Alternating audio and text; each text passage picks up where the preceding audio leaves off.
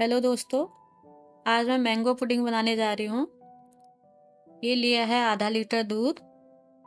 दूध को एक उबाल आने तक गर्म करना है। इसे हल्का ठंडा करने के बाद इसमें ऐड करूँगी मिल्क पाउडर। मिल्क पाउडर डाल के इसको मिक्स कर लेना है। अब इसमें ऐड करूँगी चीनी का बूरा और इसमें ऐड करूँगी नारियल का बूरा।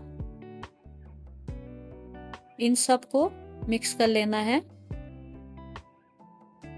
और 10-15 मिनट के लिए इसे रख दूँगी। एकदम गाढ़ी, रबड़ी जैसी हो जाएगी। ये मैंने आम के बारीक बारीक पीसेस बना लिए थे। अब इनकी एक प्योरे बना लूँगी। और इसमें ऐड कर रही हूँ दूध। ये प्योरे बन गई है। और ये लिया है ब्रेड। ब्रेड के जो ब्राउन वाला साइड्स है, वो मैं कट कर लूँगी।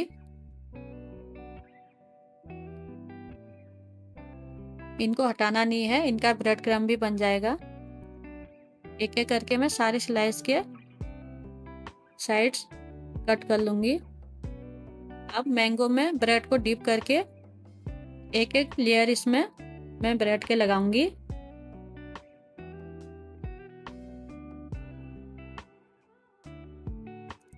कुछ इस तरह से।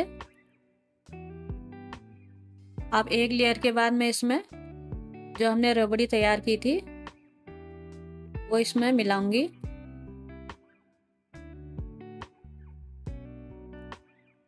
एक लेयर रबड़ी की इसमें इसको इस तरह से फैला देना है। जो ब्रेड है उसे पूरा कवर करना है।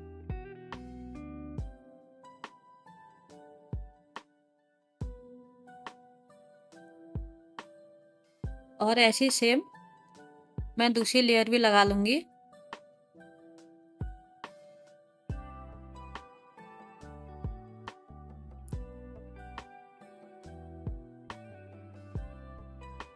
और मैंने कुछ मैंगो के छोटे छोटे पीस काट के रखे थे।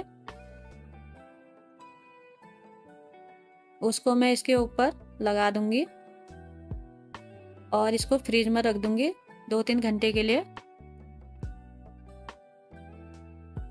जब ये ठंडा हो जाएगा, फिर इसे परोस सकते हो। तो दोस्तों, आप भी ट्राई करना और मेरे चैनल को लाइक सब्सक्राइब और शेयर करना मत भूलना। Thank you